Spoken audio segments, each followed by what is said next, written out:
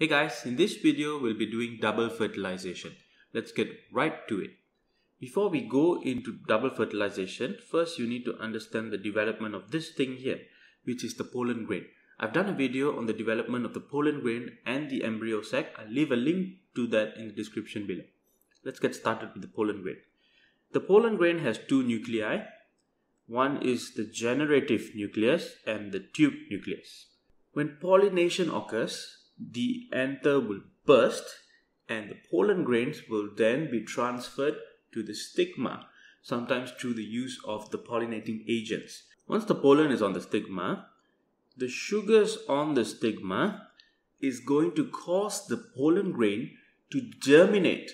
And when it germinates, it forms this thing here, which is known as the pollen tube.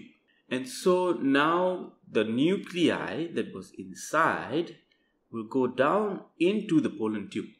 And this is led by this nucleus here.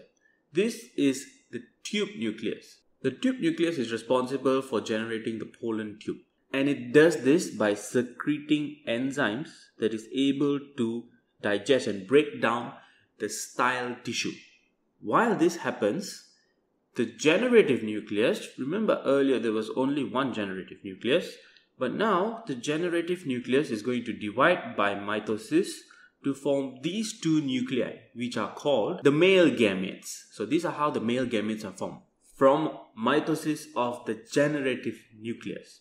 And the male gametes are just going to follow behind the tube nucleus. And the tube nucleus will continue to go down and penetrate the style.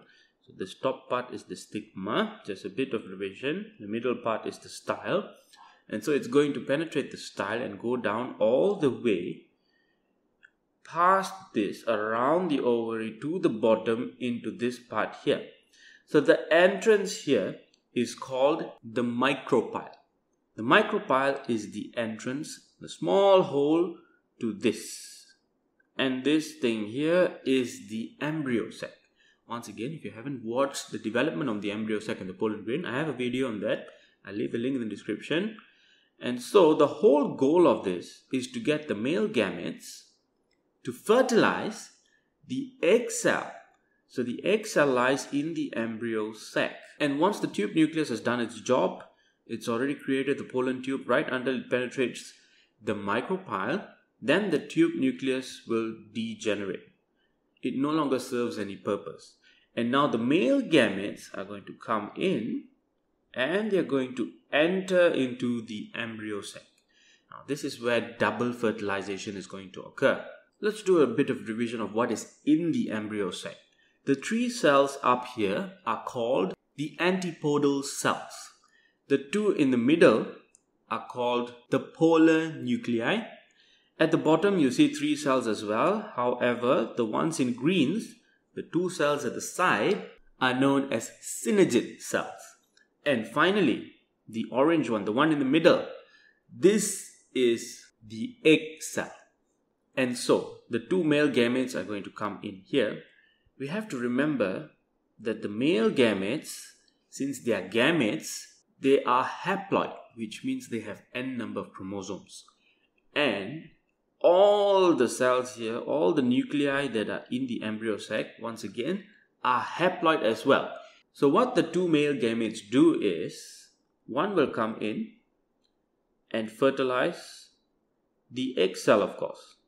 And that will form a zygote. So this is fertilized, then we have a zygote. This zygote will develop into an embryo. That's for another video.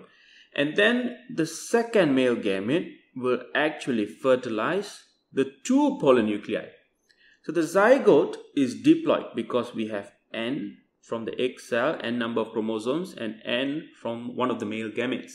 So this is a diploid number of chromosomes in the zygote.